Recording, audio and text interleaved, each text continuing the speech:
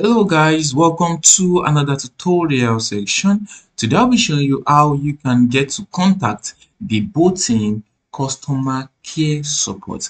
How can you contact the Botim customer care support? This is quite easy and straightforward. Now the first thing you want to do is to launch your Botim application. Once you launch your Botim application, the next thing you want to do is to simply head over to the me section once you click on the mix section, simply click on the about section.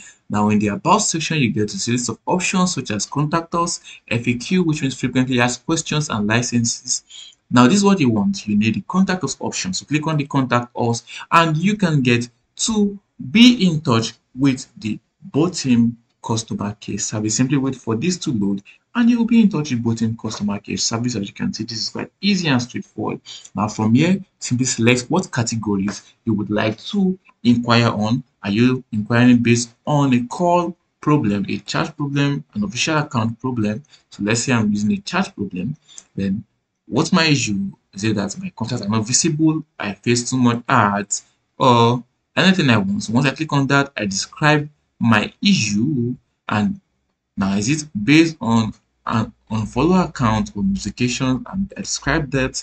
Then after that put in my email address attach a screenshot of the error and click on submit. Now an easy way to prevent or the delay in response because there might be delay in response if there are no customer care agents available to respond to you is to simply use the frequently asked questions section.